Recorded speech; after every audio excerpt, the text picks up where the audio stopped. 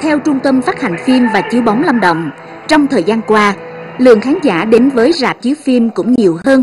Mặt khác, Trung tâm Phát hành phim và chiếu bóng Lâm Đồng đã chú trọng đến từng đối tượng khán giả với sự bố trí xen kẽ các phim truyện hợp lý nên đã thu hút được lượng khán giả yêu thích phim truyền hình có chiều hướng tăng đặc biệt là trong dịp hè. Trung bình hàng năm, lượng khán giả đạt khoảng trên 3.200 lượt, chủ yếu lứa tuổi thanh thiếu niên. Được biết hiện nay trên địa bàn tỉnh Lâm Đồng có hai rạp chiếu phim và trên 300 điểm chiếu phim lưu động ở các địa bàn vùng sâu, vùng xa trong tỉnh. Tuy nhiên, với cơ sở vật chất còn thiếu thốn, vì vậy số lượt chiếu phim truyền phục vụ khán giả vẫn còn hạn chế, mới chỉ đáp ứng được trên 65%.